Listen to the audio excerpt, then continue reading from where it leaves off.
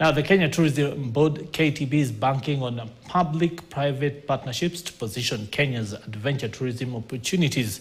According to the Kenya Tourism Board, KTB CEO June Chepkemei, adventure tourism has demonstrated resilience and potential to attract more visitors into the country due to its adaptability and broad economic benefits that support local communities. Take a look.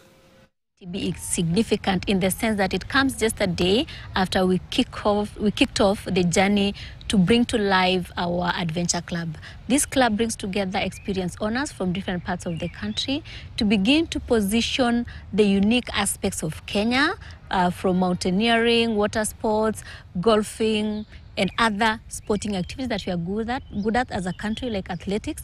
And uh, going into the future, this adventure club will ensure that we broaden our offering as a country uh, to just move away from the traditional safari and beach safari uh, and beach holidays that we are known for.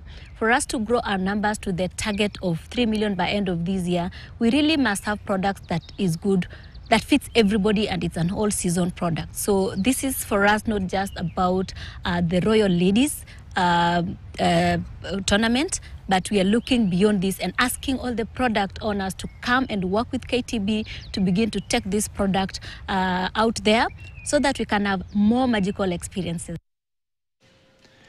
Now, Kenya